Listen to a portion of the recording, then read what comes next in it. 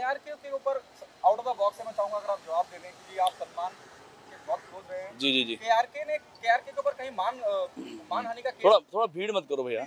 हाँ। केआरके के ऊपर कहीं मानहानि का केस किया है सलमान खान ने उस पर क्या कहना चाहेंगे? वेल मैं तो ये पहली बात तो जो भी क्रिटिक्स हैं चाहे वो मीडिया है या फिर जो भी क्रिटिक्स हैं जो, जो मूवी के ऊपर हमेशा अपनी टिप्पणियाँ देते हैं उनको पूरा हक है बोलने के लिए। बट आप पर्सनली अटैक मत करो। एंड मैं तो uh, बड़ा हैरान हूँ कि सलमान भाई ने केस किया और वो भी इतनी देर बाद केस करा। है ऐसे गधे को तो आप बहुत पहले ही आपको काबू करना चाहिए था। बिकॉज़ ये हमेशा और भी बहुत सारे ऐसे लोग हैं जो हमेशा जैसे कोमल नाटा है हाँ, हमेशा लोग उनको बोलते हैं कि वो खरीदे हुए हैं ऐसा नहीं है। हर आदमी अपने तरीके से उनको बताता है। एंड हर क्रिटिक्स को मीडिया को पूरा हक है फ़िल्म के बारे में बोलने का। पर ये हमेशा पर्सनली अटैक करता है which is very wrong and मैं आपको पीछे थोड़ा याद कराऊँ सोनू सूद भाई के लिए बहुत पहले बोलते थे कि यार ये तो आलू है, ये तो किसी भी आप सब्ज़ी में डालो, आलू की ज़रूरत होती है, वैसे ही सोनू सूद है। आज वही सोनू सूद के बारे में ये बहुत तारीफ़ करता है कि वही सोनू सोनू सूद है जिसके बारे में इतना इसने बुरा भला बोला। है सुशांत की हम बात करें, सुशांत सिंह राजपूत, सबसे ज़्यादा अगर किसी ने उसके बारे में गलत बोला है तो के आर के ने बोला है। एंड मैं हैरान हूँ कि मूवी वाले, हमारे बॉलीवुड वाले इतने टाइम से चुप क्यों बैठे रहते थे? पहले क्यों नहीं किसी ने इसके ऊपर केस ठोका? सायरा जो सायरा खान, सायरा अली जो सैफ अली की बेटी हैं she was I think seventeen और एटीन तो प्लीज़ अब तो हाँ हाँ एक थोड़ा थोड़ा इधर आ जाओ मिलता मिलता। सायरा खान के बारे में बोलूँ तो शी वॉज़ जस्ट सेवनटीन और सिक्सटीन तभी इसने उसके बारे में बहुत बकवास करी थी कि वो हॉट लड़की है। तो ये जो पर्सनल अटैक है, ये नहीं होना चाहिए। एंड बहुत अच्छा डिसीज़न है कि ऐसे गधे को उन्होंने ठीक करने का मौका लिया। बिकॉज़ मैं डुप्लीकेट तो यू नो डुप्लीमेटिक मैं वो जवाब देता नहीं हूँ। और ये मेरा बिल्कुल पड़ोसी है जहाँ पे मेरा स्टूडियो है। तो अगर मेरे बारे में कुछ भी कभी भी ये गलत बोलेगा तो मेरी तरफ़ से ये केस वेस तो नहीं होगा सीधा झापड़ होगा। आप मानते हैं सलमान ने सही शुरुआत करी है? बहुत अच्छा करा सलमान भाई ने एंड मैं नाराज़ हूँ सलमान भाई से कि इतना देर से इन्होंने ये डिसीज़न लिया।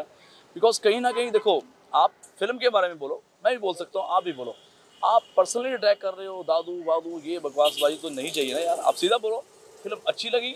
नहीं अच्छी लगी। फ़िल्म की स्टोरी बेकार थी फ़िल्म की स्टोरी कम थी ज़्यादा थी ये आपको बोलने का हक है। आप पर्सनल लेवल पे किसी को मत बोलो। अब सल, अब वो कहीं कहीं अपने आप को झुकते हुए नज़र आ रहे हैं केआरके सलमान सलीम साहब को अप्रोच कर रहे हैं कि सबसे पहले के आर के। इतना बड़ा चूहा है कि वो अपनी बिल से बाहर नहीं आता। उसको पता जैसे ही बाहर निकलेगा उसको झापड़ बहुत सारे लोगों से बनने वाले हैं।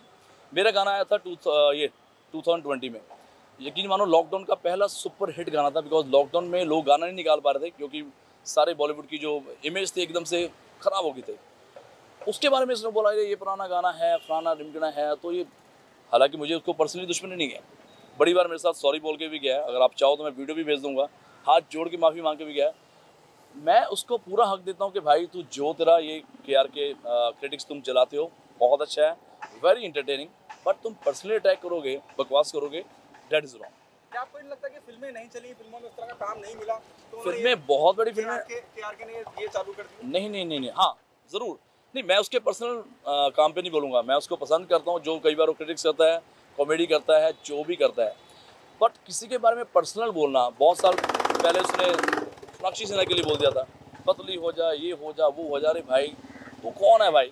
हु आर यू तू अपना तो देख अपना लेवल देख अपने आप को देख अपने आप को अपना थोपड़ा पहले ठीक कर ले फिर किस, किसी के बारे में बोल।